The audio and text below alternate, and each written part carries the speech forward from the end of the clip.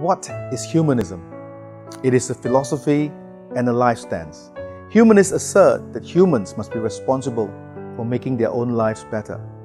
It is about creating a kinder, gentler society through the spirit of compassion, reason, and critical thinking.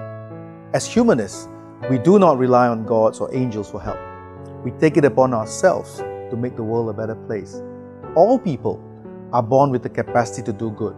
Our empathy, our compassion, and our selflessness has emerged within us over millions of years through the process of evolution. This capacity to love has made us stronger, not weaker. It has helped us form stronger communities and brought us happiness and courage in our darkest hours. However, most of us do not realize this. We often attribute our good qualities to religious, political, or racial labels. This is divisive and unnecessary. As humans, all of us are capable of doing good just for goodness sake.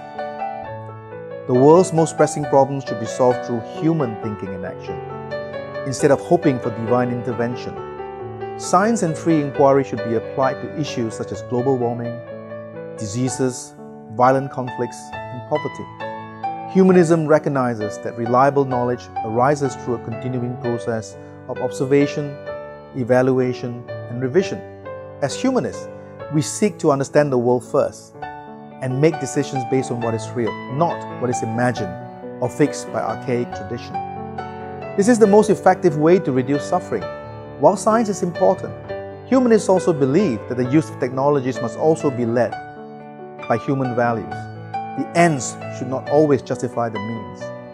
We assert that nobody should be punished or discriminated against for what they believe.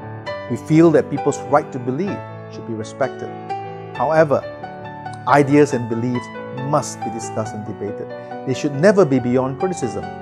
Good ideas will, defend, will withstand criticism, while bad ideas, if unquestioned, will end up causing harm for the world. Humanism affirms the importance of literature, music, and the arts for personal development and fulfillment.